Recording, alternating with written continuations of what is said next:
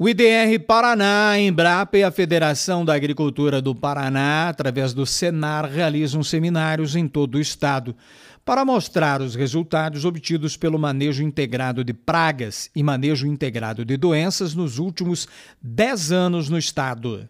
O seminário realizado aqui em Pato Branco abre o ciclo que vai acontecer também em outras regiões do Paraná. Serão sete seminários desenvolvidos pela Federação da Agricultura do Estado do Paraná, através do Senar e outros parceiros.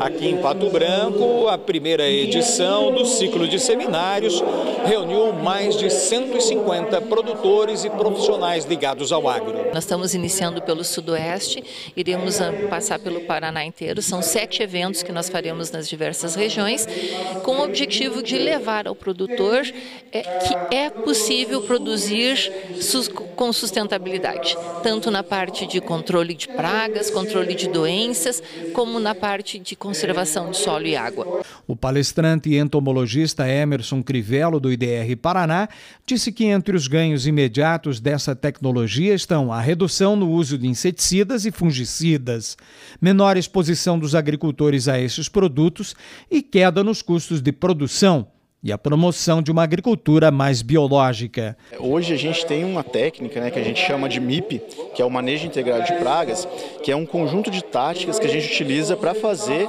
esse controle de pragas da melhor maneira possível. Né? Então a gente sempre busca o melhor custo-benefício econômico e o melhor custo-benefício ambiental. Então é, o IDR Paraná hoje tem esse trabalho em parceria com a Embrapa e a gente vem monitorando as lavouras e vem aplicando essas táticas né, de integrar diversas técnicas para fazer o, controle de, de, pragas na lavoura. Hoje a gente tem um resultado médio dos últimos 10 anos de uma redução em torno de 53% para quem adota essas práticas. Né? Então, assim, é uma redução significativa aí no, na redução de aplicações de inseticidas. Outro tema abordado no seminário tem sido a co-inoculação em soja o manejo de solo e rotação de culturas, a importância de boas práticas agrícolas, a integração lavoura-pecuária-floresta e a recuperação de pastagens degradadas. O pesquisador da Embrapa, André Prando, falou sobre a importância da utilização dos inoculantes na cultura da soja. É o incremento de produtividade sem contar na sustentabilidade. Né? Graças a, a, esse inoculante, né, o Brasil hoje dá para se dizer que produz a soja uma das mais sustentáveis, porque a gente consegue produzir soja sem a utilização de fertilizante nitrogenado mineral. Né?